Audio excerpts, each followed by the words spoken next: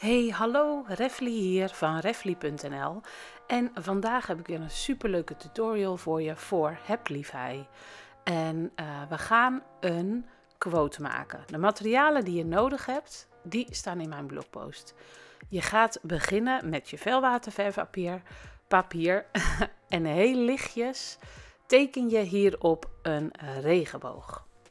En hij hoeft niet te kloppen, dus qua aantal bogen hoeft het niet te kloppen. Hij hoeft er niet uit te zien als een originele regenboog. Je maakt er gewoon eentje waar jij je prettig bij voelt. En ik had van tevoren wel al bedacht welke kleuren wil ik sowieso gebruiken. Dus hoeveel van deze bogen heb ik nodig? Uh, vind je het nou niet leuk om een heel klein piepje potlood door je regenboog heen te zien? Doe dit dan niet en ga dan gewoon direct met je verf aan de slag. Ik vind dat geen enkel probleem. Ik hou ervan als alles niet perfect is. Uh, dus ik heb het wel eerst met potlood gedaan. En ik vind het dus ook niet erg als het een beetje er doorheen schijnt. Nou, zoals gezegd, de materiaallijst met linkjes staan allemaal in mijn blogpost. Um, maar ik kan nu natuurlijk ook vertellen, ik gebruik de Pastel Dreams set van Prima Marketing. Maar als je dus uh, op mijn blogpost op het linkje klikt, dan ga je er ook direct heen. En ik begin anders dan de gebruikelijke kleursamenstelling, zeg maar. Uh, is ook wel eens een keertje leuk. En het kwastje wat ik in mijn hand heb, dat is van Rafael. en het kwastje heet de Symbiose. En dit is het maatje. Nou moet ik even spieken. La la la. Uh, ik denk dat dit de 10 is die ik nu in mijn handen heb. Ja, dit is maatje nummer 10. Uh, die is niet overal te koop overigens, maar daarvan heb ik ook weer linkjes in mijn blogpost staan, zodat je precies weet wat ik allemaal gebruikt heb. Um, en ik wilde bij deze regenboog dat de druppels een beetje gaan stromen naar beneden. Nou is dat soms lastig als je wat weinig water gebruikt. En sowieso waterverfpapier is natuurlijk niet zo glad uh, als gewoon uh, normaal papier. Dus je moet het wel een klein beetje helpen. Nou, zoals je ziet heb ik bij die blauw die ik nu net al geschilderd heb... een klein beetje extra water toegevoegd aan de linker en de rechter onderkant van die boog. Dus zometeen, als ik het papier weer rechtop ga houden voor de volgende boog, die ik toch ook wel heel graag wil laten druppelen, dan zie je dat het weer uh, wat verder naar beneden gaat. Doordat ik water toevoeg, een beetje extra verf ook toevoeg uh, en dat het dan naar beneden druppelt. Zal je zo meteen wel even zien. Nu pak ik water. Nu voeg ik aan het onderkantje zeg maar water toe en dan ga ik weer proberen met het tikken van mijn blaadje op de tafel om te zorgen dat die druppels naar beneden gaan. Nou, eentje gaat al hartstikke goed en die andere denken, nou ja, uh, doe zo meteen wel een beetje. Maar doordat ik het zo meteen bij elke boog wel ga herhalen, gaat het vanzelf steeds meer naar beneden druppelen. Dat is gewoon even oefenen. Je moet gewoon even een klein beetje inkomen daarin. Nou, zoals je ziet werk ik en direct uit de napjes van de set. Zo noem je die kleine dingetjes waar die verf in zit. Dat is een napje. Um, en er zijn uh, heel veel echte waterverfcursussen waarin je verteld wordt dat dat natuurlijk echt niet kan. Je moet je kleuren mengen op een palet en je moet heel veel water toevoegen en dat moet je allemaal op dat palet doen. Hey, je moet natuurlijk helemaal niks. Dat is mijn enige regel die ik heb. Ik verf gewoon zoals ik het fijn vind om te doen en ik wil gewoon heel veel pigment in mijn waterverf. Uh, dus ja, ik pak gewoon mijn verf rechtstreeks op uit het napje. Ik doe het ook nog wel eens op dat Zoals je ziet, dat dekseltje. Maar dat is meer eigenlijk om te kijken wat voor kleur heb ik. um, dus in principe kan het gewoon. Je kan prima direct uit die napjes. Kijk, nou tik ik even aan de achterkant. Omdat ik denk, joe, ga je nog een keer? Maar goed, het gaat steeds verder wel druppelen. Tussendoor spoel ik natuurlijk mijn kwast goed uit. Want als je met groen in je geel gaat zitten, nou je snapt het al, dan uh, wordt het een andere kleur. Um, en ik werk ook nog eens een keer nat in nat. Dat betekent, uh, het groen wat ik net geverfd heb is nog nat en nu begin ik al met geel. Maar zoals je zag, begin ik aan de buitenkant van de boog, want ik wil wel echt dat die kleur zoveel mogelijk geel blijft. En aan de randen vind ik het niet erg dat het mengt. Zo zie je dat hier zo. Uh, het is gewoon helemaal prima als de randen daar mengen. Zie je dat? Hier, ik zie al dat het groen erin overloopt. Dat laat ik ook gewoon zo. Ik vind dat prima. Vind je dat nou niet prima? Heb je wat meer dat je het leuker vindt als het wat strakker is? dan moet je dus elke keer zorgen dat of je waterverf droog is voordat je met de volgende boog begint. Ehm, of je laat elke keer één boog open. Dus dan begin je in dit geval met de blauw. Dan laat je die ijsblauw laat je open. En dan daarna doe je de mintgroen. Dan laat je die geel weer open. En dan begin je met oranje. Hier zie je dat ik te weinig water had. Uh, dus als je elke keer een boog overslaat, heb je ook geen last van dat het natuurlijk in elkaar overloopt. Dan moet je wachten tot alles droog is en dan voeg je daarna de overgebleven bogen weer toe.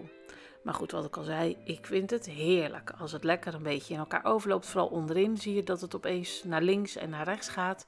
Helemaal prima. Als je daar nog een beetje aan moet wennen, dat is natuurlijk ook helemaal goed. Ehm, maar het is denk ik meer het perfectionisme ook een beetje loslaten. En ik hou gewoon van de look van waterverf dat het in elkaar overloopt. Dat vind ik gewoon leuk om te zien. En hier heb ik weer wat water toegevoegd. Nog wel wat oranje bedenk ik toe te voegen. Want ik wil natuurlijk niet dat de druppel dan alleen maar water is wat naar beneden uh, gaat. En je ziet hier al een beetje aan de rechterkant ook wel dat de kleur een beetje gemengd is op de een of andere manier met blauw en groen, wat toch een beetje naar rechts gelopen is. Nou, dat zal je straks ook zien. Bij mij wordt het een heel klein beetje modder op een gegeven moment bij een van die druppels. Ja, heel simpelweg haal je dat gewoon met een stukje keukenrol weg. Dus dat is ook helemaal geen ramp. Nou, na het geel ga ik verder met uh, de middelste kleur van de roze die ik heb. Uh, ik vind dat gewoon echt helemaal. Ik vind trouwens sowieso deze set van Prima Marketing een van de mooiste sets die er is. Um, en je kan dit natuurlijk met alle waterverven doen die jij op dit moment in huis hebt, of waar jij zelf graag mee werkt, of jouw favoriete kleuren. Je moet natuurlijk even kijken hoe je dat het liefste aanpakt. Ik zou je wel adviseren, als je echt met waterverf gaat werken, dat je het beste ook echt waterverfpapier gebruikt. Omdat dat het mooiste waterverf-effect geeft um, dan blanco papier. Het kan wel gewoon hoor, want ik werk in mijn daily journal ook helemaal prima um, met alleen maar uh, waterverf op gewoon normaal blanco papier. Dat kan ook gewoon, maar als je echt zoiets gaat maken, zoals een quote die je misschien wel aan de muur wil hangen, of misschien wil je hem zelfs wel een cadeau geven aan een vriend of een vriendin, um, ja, dan kan je het beste echt, echte waterverfpapier gebruiken. Ook daarvan heb ik simpelweg linkjes in mijn blog staan. Nou, dan laat ik je nu nog even die andere twee kleuren afmaken. En als we zo meteen met de tekst verder gaan, ben ik er weer bij.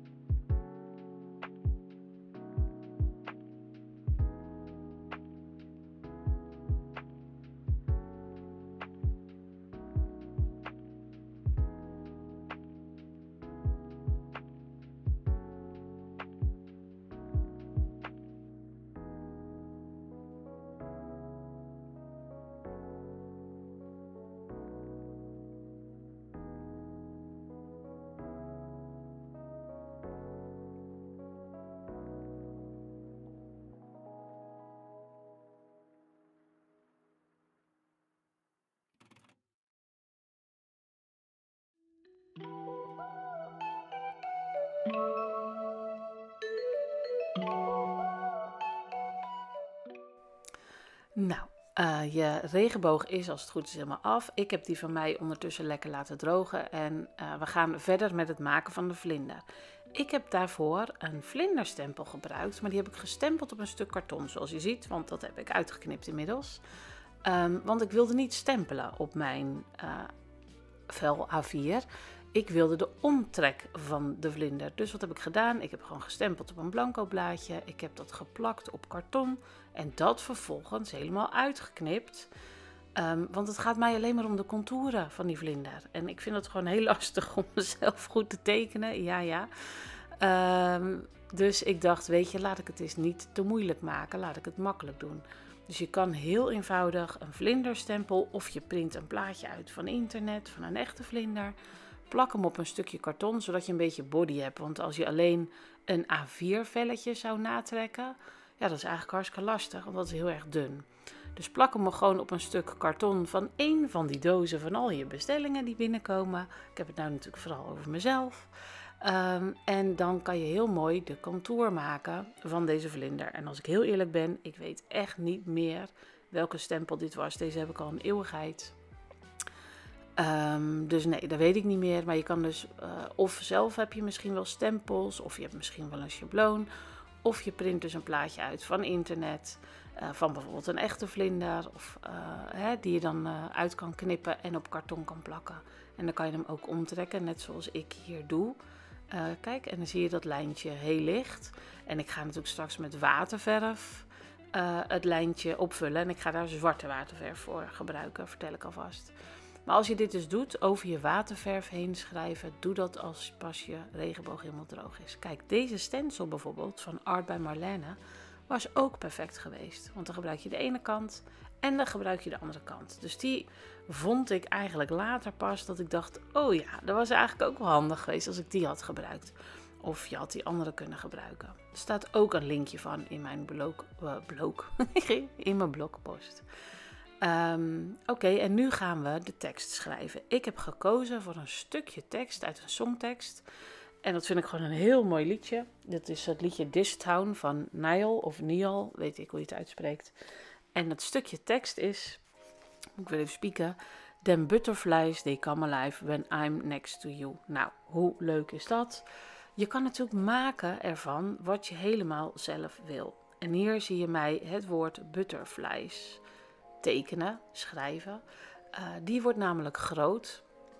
En uh, de rest van de songtekst schrijf ik kleiner. En dit is echt wel een beetje mijn, uh, ja, hoe zeg je dat, herkenbaarheid, zoals de woorden zoals ik ze schrijf.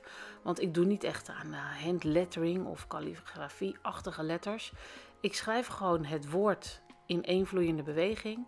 En daarna, zoals je ziet, ga ik de lijntjes gewoon nog een keer na. Alleen dan blijf ik er net iets naast. En daarmee creëer ik dus de dubbele lijnen van de letters.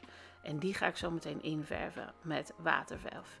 Dus er is eigenlijk niks chics aan. Ik doe gewoon het woord schrijven en ik schrijf hem nog een keer over.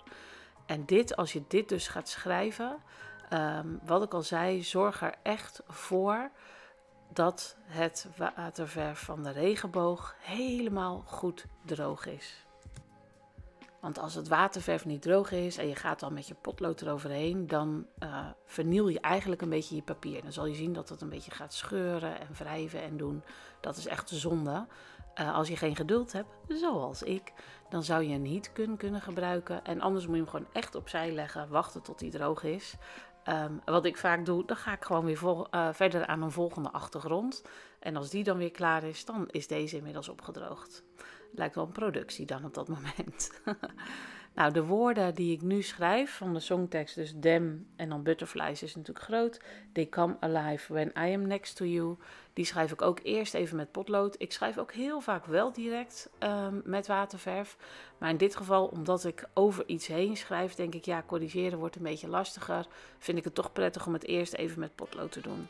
En ik schrijf dus echt gewoon dwars ook door de druppels heen. Ik schrijf uh, precies waar ook de waterverf zit. En ook een heel klein stukje eronder natuurlijk. En ik voeg ook wel uh, de naam van het liedje toe. En uh, de zanger, dat hoeft uiteraard niet als het natuurlijk voor eigen gebruik is. Eh, maar ik vind het wel gewoon leuk om het erbij te zetten. Dat ik later ook nog kan denken: oh ja, dat was daarvan.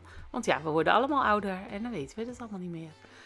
Nou, ik ga zo meteen ehm, deze letters. Oh, kijk, ik heb ook nog gevlekt. Maar dat is geen probleem. Dat lossen we straks wel op als we nog een beetje druppels gaan toevoegen. Dus uh, wat mij betreft mag alles zonder perfectionisme gedaan worden. Nou, voor de zwart uh, gebruik ik altijd mijn set van Winsor Newton. Dat is een hele grote set waterverf. En uh, uiteraard hoef je niet zo'n hele grote set waterverf daarvoor te kopen. Je hebt alleen de zwart nodig. En hier zit ik even te proberen welke kwastje is nou het best om te schrijven. Welke is fijn genoeg en met welke ga ik de vlinder doen. Eh, en de grote letters. Maar blijkbaar ben ik er al uit. Dus je hebt een lekkere grote pot met water staan. Eigenlijk staat dat rechter doosje waterverf verschrikkelijk in de weg. Ik snap ook eigenlijk niet zo goed waarom ik dat niet weggehaald heb. Nou ja, ik werk altijd heel slordig. Dus bij mij staat alles gewoon op mijn bureau. Je mag blij zijn dat je nu zo'n duidelijk beeld hebt, zou ik zeggen. Nou, en nu ga je heel simpel weg met zwart. En uh, zwarte waterverf is dit. Ga je de contouren van de vlinder langs. En ik snap dat dit best een beetje uh, spannend is. Ik had mijn lijntje iets te dun opgezet, zag ik. Dus ik ga er nog een keer overheen.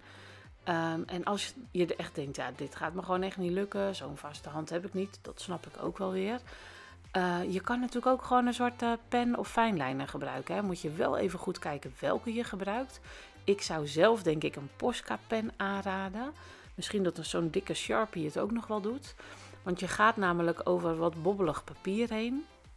Nou, een postkapen die kan overal overheen.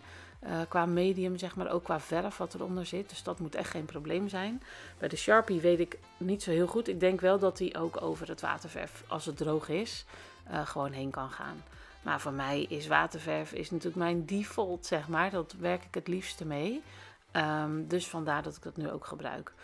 Uh, je ziet ook, ik steun met mijn pols en mijn complete onderarm op mijn bureau. En dat is om zoveel mogelijk stabiliteit te creëren. Als je dat niet doet en je werkt zeg maar vanuit je elleboog of je laat je arm een beetje in de lucht hangen, ja, dat is heel lastig om dan een stabiel lijntje uh, te schilderen, zeg maar. Tenminste, ik kan dat niet als mijn arm een beetje zweeft. Dus kijk even voor jezelf wat fijn werkt. Ik vind het dus heel prettig om mijn complete onderarm echt op mijn bureau te hebben liggen. En mijn pols dus ook. Ik werk dus vanuit mijn pols. Um, dat dat gewoon uh, steun geeft. En veel mensen zeggen dat je natuurlijk vanuit je arm volgens mij moet werken. Nou ja, weet je, whatever. Doe wat goed voor jou voelt en waar je, waar je je lekker bij voelt en prettig bij voelt. Dus kijk, de vlinder, hij is verre van perfect. Maar dat maakt dus eigenlijk helemaal, helemaal niks uit. Want dit is gewoon een poster die ik voor mezelf maak. Nou ja, nieuwsflash. Deze komt ook gewoon in mijn shop als print.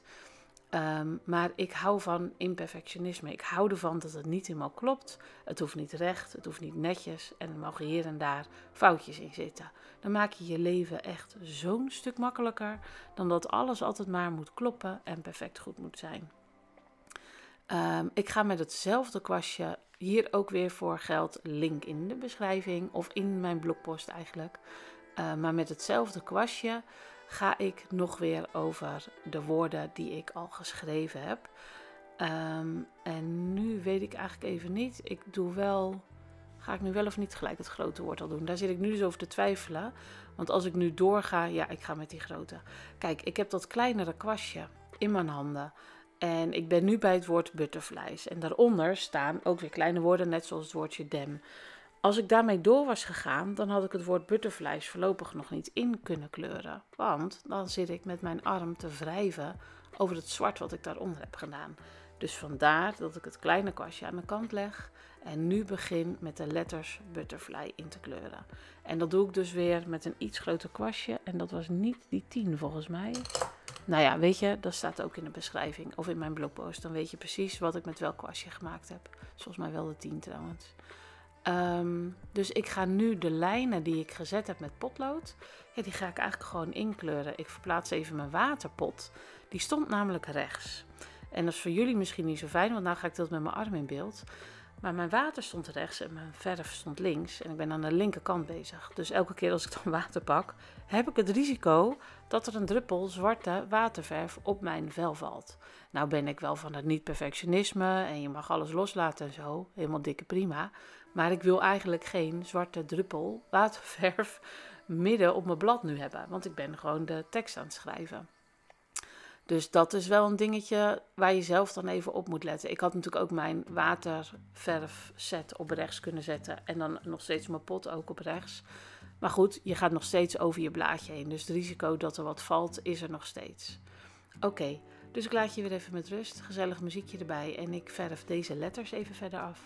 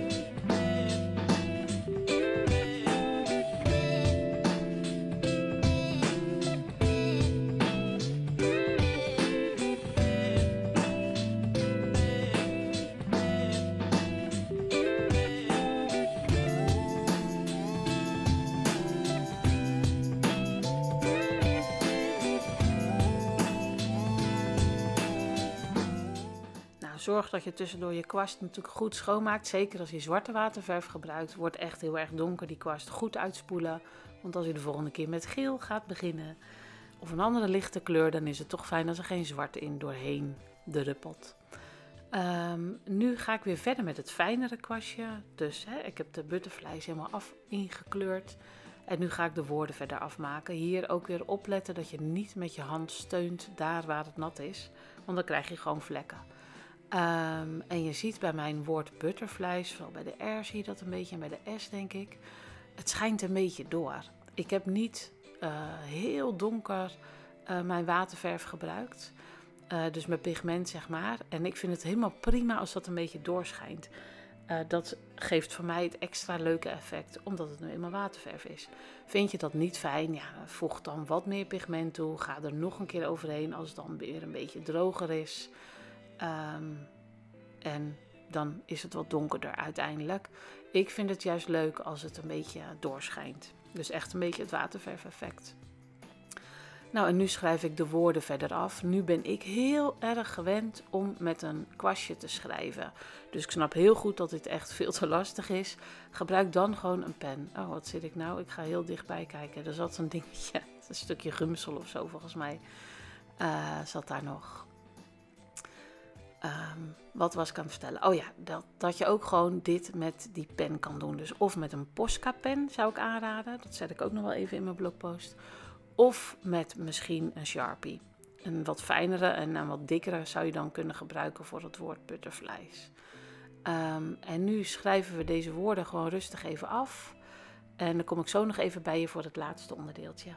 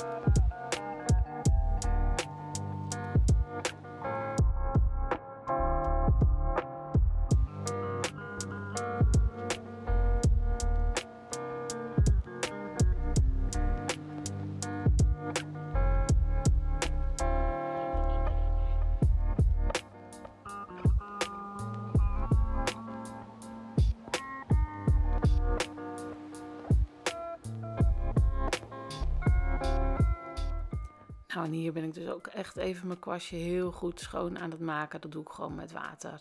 En ik rol hem een paar keer in keukenrol. Uh, nu niet zo heel veel, omdat ik hem zo meteen natuurlijk nog even echt heel goed ga schoonmaken. Ik pak deze kwast. Dat is weer die nummer 10. Um, ehm, want daarmee gaan we spetteren. En uh, ik tik simpelweg met mijn vinger op de kwast. En precies daar natuurlijk waar het vlekje zat, ga ik beginnen. En ik ga er een beetje omheen. En ik vind het helemaal prima als mijn spetters her en daar, her en der over de regenboog en over de vlinder gaan. Vind je dat niet fijn? Ah, leg er dan een blaadje op. Ik pak ook nog een flink grotere kwast, want ik wil ook grotere druppels. Daarvoor moet je voldoende water pakken en uh, dat lekker toevoegen. En je ziet mij mijn hand even tegenhouden. Dat doe ik omdat ik niet wil dat die dikke, dikke druppel verder op mijn pagina komt.